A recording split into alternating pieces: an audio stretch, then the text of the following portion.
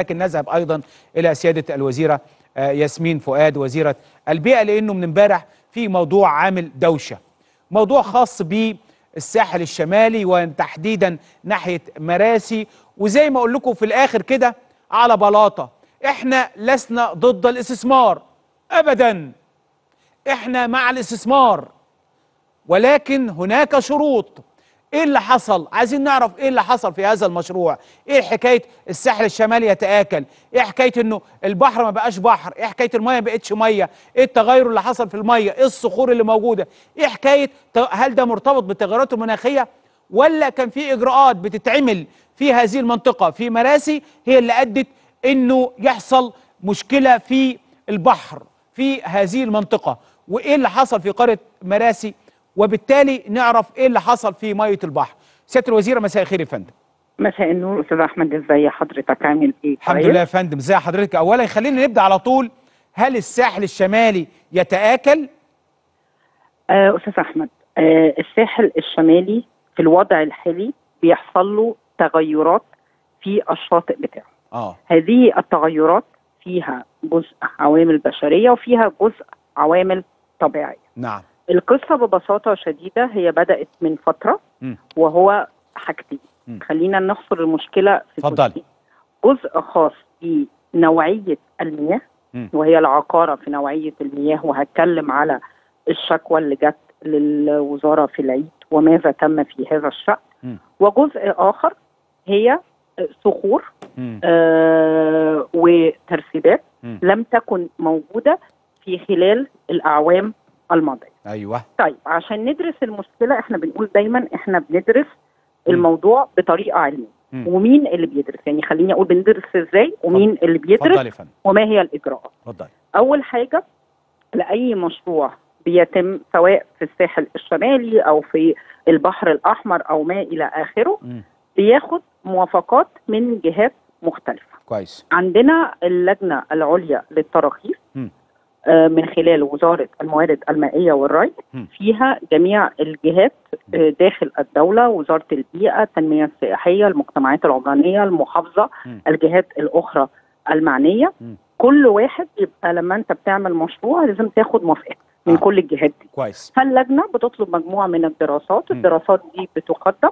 وبعدين بعد كده بيبقى كل جهة بتدي الموافقة بتاعتها واللجنة بتاخد قرار جماعي بالموافقة أو التعديل أو ما إلى آخره. عظيم. الشركة خدت موافقات. في 2017 شركة لإنشاء- إعمار؟ آه خدت الموافقات اللازمة لإنشاء هذه المدينة. أيوه. جينا السنة اللي فاتت آه. لقينا الحاجتين اللي أنا بقول لحضرتك عليهم تزامنوا مع وجود خدوا موافقات عشان ينشئوا يا سياده الوزيرة معلش. عشان عشان ينشئوا المدينة. المدينة. ماشي كويس. المدينة وبعض المدينة. الانشاءات الأخرى كويس. اللي موجودة برضو في نفس هذه القرية. شأنهم كويس. شأن القرى الأخرى برضو اللي بتاخد هذه الموافقات كويس. اللي حصل آه. إن السنة اللي فاتت بدأت المية تبقى لونها عكر آه. ماشي. ما بتبقاش صافية زي ما هي. مم. وفي بعض الصخور اللي ابتدت إن هي تظهر. مم. وبالمناسبة هذه الصخور موجودة في القرى المجاورة وموجودة عند مراسي. آه. برضه في الدبلوماسيين نفسهم عندهم- اعتقد وفي ستيلا.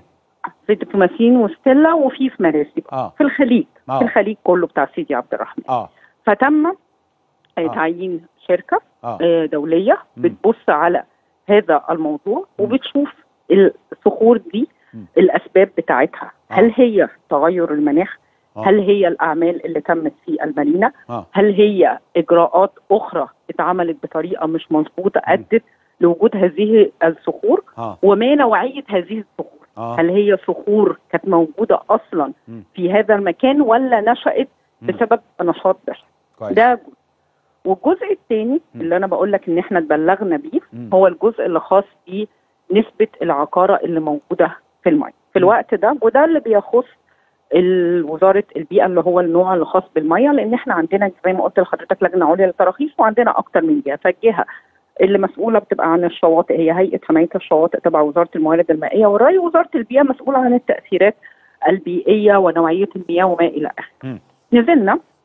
لقينا نزلنا السنة دي والسنة اللي فاتت؟ لا السنة السنة اللي فاتت والسنة دي. السنة آه. دي نزلنا في العيد لما الشكوى جت آه. وزي ما وضحنا في البيان آه. ثلاث أيام ورا بعض نبدا من يوم الأحد ليوم الثلاث بالحقيقة لقينا أعمال تكريك. آه. هي كانت السبب في ال- اللون بتاع المية اللي اتغير الكراكة هي السبب الشركة. آه الشركة اتكلمنا معاها مم. استجابت مم. وقفنا أعمال التكريك. ابتدينا ناخد آه عينات مم. ابتدينا نتابع الموضوع وفي خلال يومين ثلاثة المية رجعت بنسبة نقول 85 ل 90% اللون بتاعها اللي هو كان قبل كده مش بنسبة 100% مم. طيب إيه الإجراء اللي بتاخده الدولة دلوقتي مم. إن في آه، اجتماعات. بتعقد عشان خاطر الشركة اللي أنا قلت لحضرتك عليها اللي تم تعيينها الشركة الدولية أيوه. إن هي تدرس التقرير المبدئي بتاعها اتعمل تقرير مبدئي لسه بنبص فيه. قال وطلبنا إيه مبدئيا عناوينه إيه؟ لا التقرير بيتكلم على واحد آه ظواهر طبيعية. مم. بيتكلم على نمرة اتنين ال- الجزء اللي خاص بالتكريك اللي هو حاليا وقف. ماشي تماما. من يوم الحد اللي فات اللي هو الحد بتاع أول يوم العيد آه. ولسه بيستكمل الدراسات بتاعته. وطلبنا سرعة إنهاء التقرير النهائي. ال- طب سيادة ال- الوزير الخط اللي هو خط الطرد للكراك عن الساحل بيبعد قد إيه؟ ده اللي عامل مشكلة المية. بيبعد قد إيه؟ الخط لا أنا ما أعرفش الخط بيبعد قد إيه الحقيقة. آه طيب ف... فلا عشان ما أردش على حاجة أنا ما أعرفش الاجابه تمام اتفضلي. فالجزء الثاني إن إحنا دلوقتي تاني عندنا مشكلتين عشان أخط... يعني آه، ألم الموضوع آه مشكلة عقارة المية مم. ومشكلة الخط بتاع الشاطئ والصخور مم. المشكلة الأولانية اتعالجت بنسبة 90% مم. في نوع لون المية وال... والعينة بتاعت نوعية المياه مم. أما بالنسبة للجزء اللي هو اللي خاص بالنهر بننظر دلوقتي مم. هل هو فعلا نهر وتغير المكان بتاع خط الشاطئ مم. أم هي صخور آه اتعملت نتيجة ترسيبات معينة اتعملت وما هي الحلول. اللي موجودة إن هي تتعمل. طيب مين اللي بيعمل الكلام ده حضرتك؟ آه. تاني؟ اللجنة العليا للتراخيص عشان كل جهة ليها الجزء بتاعها. آه. الشواطئ ليها جزء البيئة التنمية السياحية المجتمعات العمرانية الدراسة اللي بتعملها الشركة وما الناس بتوع آه، آه، مسؤولين النقل البحري مش المفروض ليهم دور هنا؟ وهل هم معانا. اعتمدوا مثلا المكان أو المنطقة اللي هي التكريك بيتم وأنا باخد ال- ال- المخلفات أو أو اللي بيتم تكريكه بيتم في منطقة معينة. هل هم اعتمدوا الكلام ده؟ ال- الموافقات طلعت من اللجنه اللي هي منطقة. إلقاء نواتج التكريك هل ده معتمد من وزارة النقل أو من قطاع النقل البحري؟ القطاع النقل البحري مسؤول عن حتة معينة مش نواتج التكريك. المخلفات بتاعة التكريك دي بتبقى خاصة بحماية الشواطئ مع وزارة البيئه النقل البحري هو اللي بيدي الترخيص للمارينا وده كان كان يعني آه، قرار جماعي كلنا اشتغلنا عليه. ولكن اللي مهم الإجراءات اللي اتعملت. إن إحنا كنا الصيف اللي فات. بنشتكي من حاجتين. أوكي؟ النهارده الصيف ده إحنا في جزء انتهى بالكامل. وفي جزء تاني لازم ندرسه. ليه لازم ندرسه حضرتك. عشان لما ندرسه نعرف نحله صح. آه. هل هو زي ما أنت بتقول هو هل في ظواهر طبيعية تغير مناخ هو السبب؟ طب هو هل في تراجع في خط الشاطئ؟ طب إيه سبب تراجع خط الشاطئ؟ فلازم كل الحاجات دي تدرس من مختلف التخصصات اللي بتبص عليها هل تم مخالفة ال ال الشروط أو المواصفات اللي منصوص عليها آه، طبقا لهيئة حماية الشواطئ يعني إنه تع... في مواصفات معينة اتقدمت وافقنا عليها هم رموا هذه المواصفات ضربوا بيها عرض الحائط وعملوا اللي هم عايزينه من غير ما حد يتابع أو يراجع لا هي حماية الشواطئ بتتابع على كل الأعمال مم. اللي بتتم مم. وبتبص على الأعمال أول بأول اللي بتتعمل على الأرض يعني إحنا لما بندي موافقات الجهة اللي بتدي موافقات بتبص آه. على اللوحة بتبص على الإجراءات بتاعتها وبتبص إن هي تعملها إزاي. طيب إحنا دلوقتي ال ال الناس هتعمل إيه؟ أو القرى اللي اتضررت أو الناس في ناس بالمناسبة مش عارفين ينزلوا ال- البحر طبعا والناس رايحة تصيف مش عارفين وناس عمالين يبعتوا حضرتك موجودة معانا مش عايز أقول لحضرتك بيقولوا إيه طبعا لأنه في ناس أجازتهم بتضيع وهم في الآخر بيدفعوا ثمن حاجة هم مش مسؤولين عنها. طيب إحنا زي ما قلت إحنا دلوقتي المية اللي موجودة المية نفسها. اللي كان مشكلة موجودة إن الناس ما كانتش قادرة تنزل البحر. لا مش كده حضرتك؟ مش عشان المية بس والصخور كمان. والصخور. آه. فإحنا دلوقتي بنشوف الإجراءات اللي ممكن تتعمل. يعني حماية الشواطئ مثلا السنة اللي فاتت ابتدت تعمل في بعض القرى آه. كإجراء مؤقت اللي هي التغذية بالرمال. تمام كده على الصخور عشان يبتدي إن هم يشوفوا حل لهذه القصة. ولكن اللي إحنا طالبينه دلوقتي إن إحنا محتاجين حل عاجل مم. نقدر إن إحنا نضعه مع الجهات المعنية لحل هذه المشكلة وما هي الإجراءات طويلة المدى وما هي الإجراءات اللي هتتعمل من الأنشطة اللي بتعملها الشركة. طيب في بعض الناس بيبعتوا بيقولوا إنه في بعض الكتل كتل حجرية م- يعني آه، عمرنا ما شفناها في هذه المنطقة. ما عرفتوش دي جت إزاي ولا هي كانت موجودة. يعني إيه إيه الحكاية؟ ولا لا، هم مثلا حابوا. يداروا حابوا يداروا على حاجة فبدأوا دفنوا حاجات وبالتالي تم كشفها بعد كده بالأمواج و لا حضرتك ممكن تكون هذه الكتل تكونت الحقيقة. بسبب بنعرض بعض- نماذج بنعرض نماذج للوضع اللي موجود. اتفضلي يا فندم. آه لا ما أنا مش شايفة التلفزيون تمام. فما فلو قعدت بنعرض نماذج يعني حاجة ملهاش علاقة ببحر بصراحة ولا شاطئ. اتفضلي يا فندم. آه فالكتل دي قد تكون آه، حديثة التكوين زي ما حضرتك ما بتقول بسبب إن لما حصل أعمال التكريك. الجير ابتدى يطلع اتكون مع الرملة فأحدث هذه الكتل لأن الصخر لما بيبقى موجود تحت المية بيبقى جامد. آه. حضرتك مش مش بيبقى آه، خفيف أو موجود بطريقة ظاهرية يعني لسه حديث ال- ال- ال- الظهور. فده برضو من الحاجات اللي إحنا بندرسها ما هو موجود فعليا في البحر وما هو موجود خارج البحر. عشان كده بقول كل الجهات بتقعد بتشتغل على القصة دي وبنرجع لبيت آه، آه، استشاري الدولي يقدر يدينا برضو رأي في هذا الموضوع. هل وارد توقف هذا المشروع ولا هذا المشروع مستمر ولكن بطريقة معينة حضرتك التكريك وقف آه. حضرتك التكريك أنا أنا في أول حضرتك المكالمه قلت أنا عارف. قلت آه طبعاً. البيان قال كده. لا آه بشكل التكريك التكريك وقف آه. ال- المفيش دلوقتي تكريك بيتعمل في هذه المنطقة في انشاء هذه المارينا عشان يسبب الجير اللي هو بيغير تاني ال- النوعية بتاعة المية وقد يكون هو برضو السبب في إنشاء أو أو ظهور هذه الصخور. فعشان كده بقول إحنا بندرس ده دلوقتي. الناس أيضا خبراء بيقولوا لا إنه مسألة الصخور دي ما فيش حاجة اسمها حديثة التكوين إنه دي لازم يبقى لها أوقات طويلة. مش لازم تبقى اتعملت النهارده وهم بيعملوا تكريك فتظهر الكلام لا ده مش النهارده لا ما هم آه. هم حضرتك لا التكريك كان شغال بقاله سنة ونص دلوقتي فأنا ما قلتش إن هو النهارده تكريك هو لو حد بيقرر عشان ينشأ حاجة هيخلصها في شهر أو اتنين هياخد مدة عقبال ما يشتغل على القصة دي. طيب إيه الحلول المقترحه حاليا؟ اللي قدامكم إيه؟ اللي قدامنا عشان اولا للناس اللي هم يعني القرى المجاورة وأيضا إحنا زي ما قلت ألو؟ ألو؟ سياده الوزيرة. طيب نتكلم سياده الوزيرة تاني؟ نتكلم سياده الوزيرة تاني؟ سياده الوزيرة معانا؟ ألو؟ سياده الوزيرة اتفضلي يا فندم. ال ال ألو؟ اتفضل حضرتك سامعني؟ معلش هو الخط بس فصل فبكلم لا لا رجع تاني طيب إحنا هل ات- اتأخرنا؟ مش كده يا سياده الوزيرة في المعالجة أو المتابعة لهذا الأمر اتأخرنا شوية؟ لا إحنا بنتابع الأمر دون من الصيف اللي فات. النواتج التكريك والطريقة اللي بيتم التكريك بيها تم إعداد دراسة بصينا عليها واشتغلنا مع الشركة. م. اثنين الجزء اللي خاص بالصخور اللي بتظهر وما إلى آخره. الشركة الدولية قدمت التقرير المبدئي طلبنا تعديلات وطلبنا ملاحظات عليه وقلنا بسرعة قدموا لنا التقرير النهائي.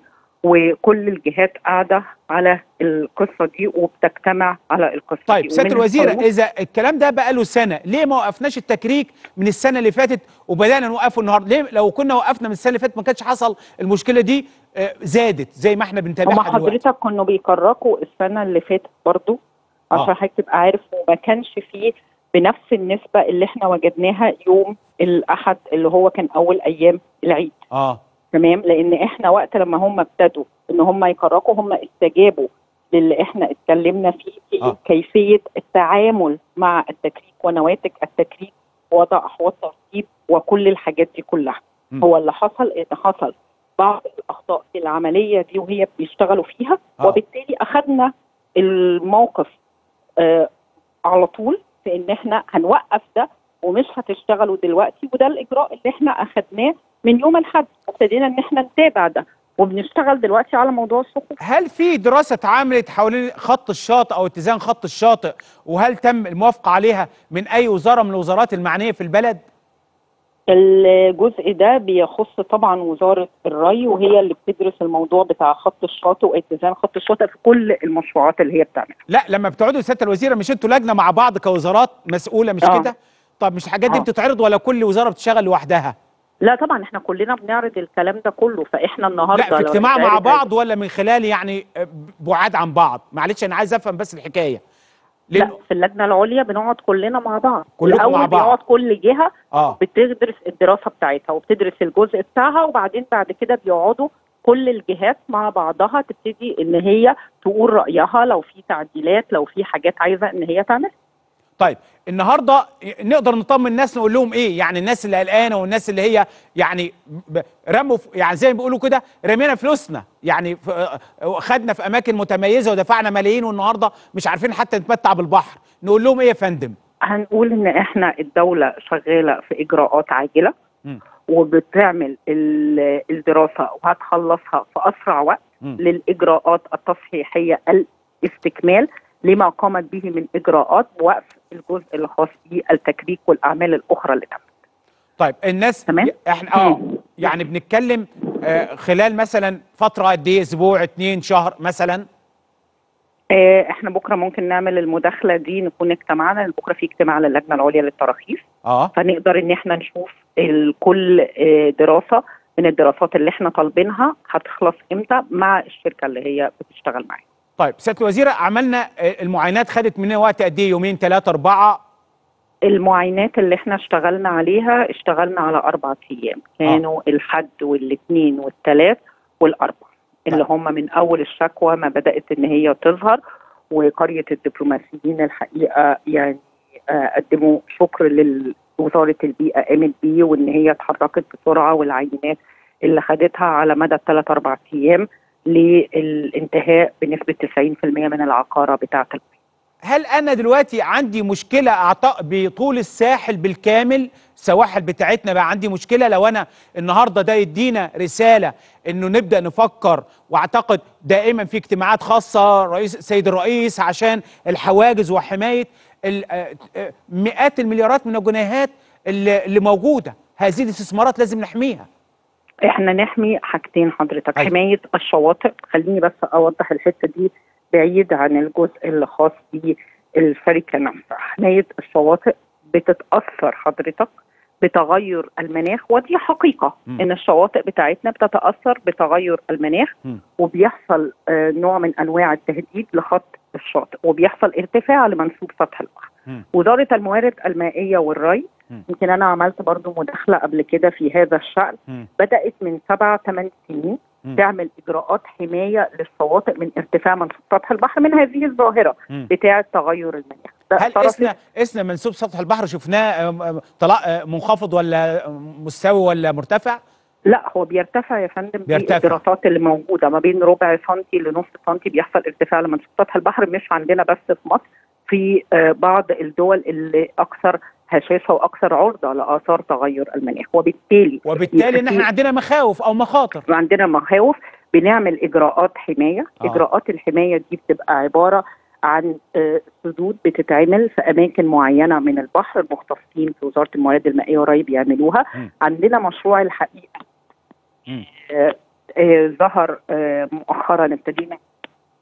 نشتغل عليه.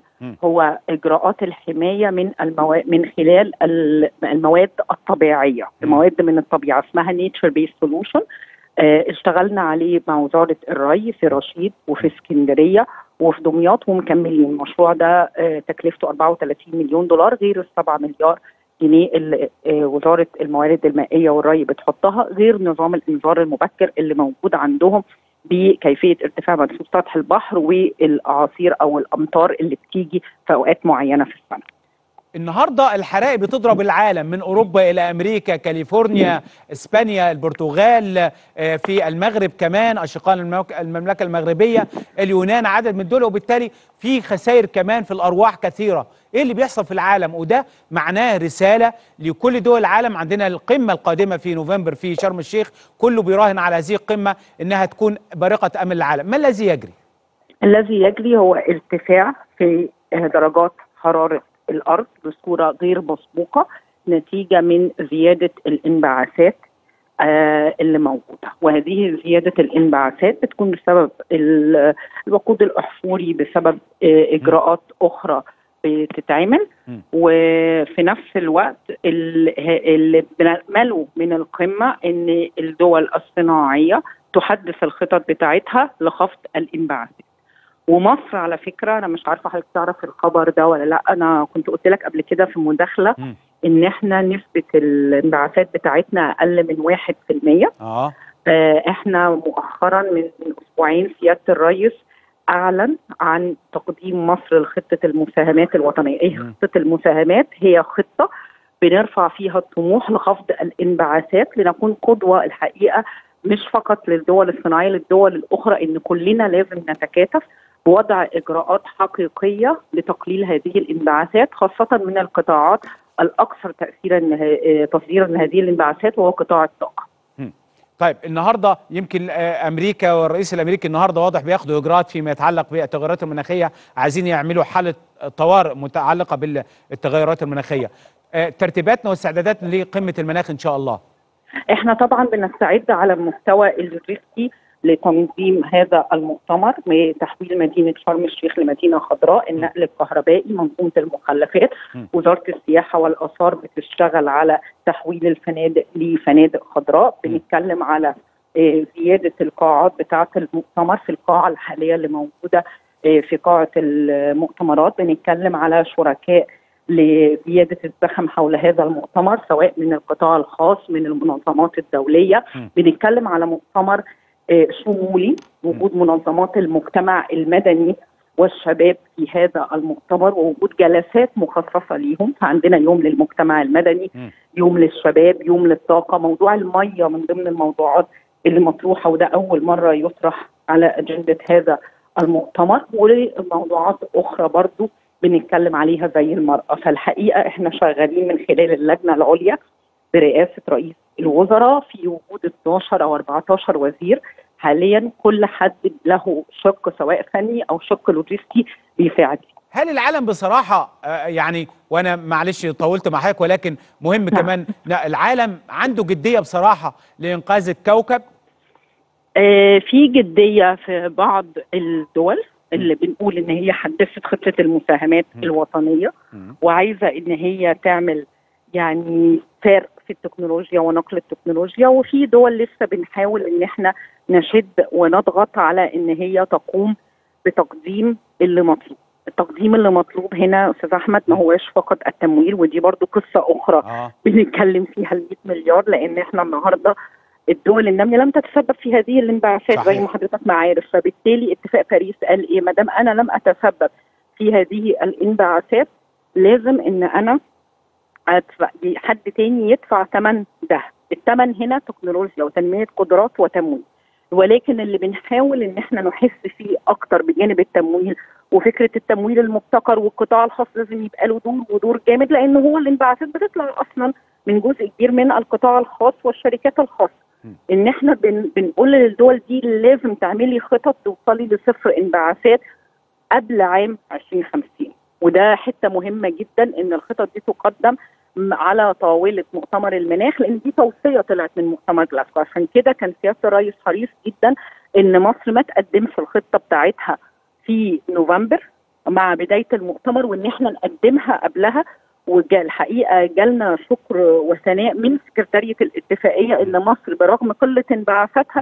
هي ما قدمتش هذه الخطة فقط كخطة إجراءات وسياسات. إحنا حطينا أرقام كمية في هذه الخطة بنسب انبعاثات هنخفضها بحلول عام 2030 سيادة الوزيره ياسمين فؤاد بشكرك شكرا جزيلا.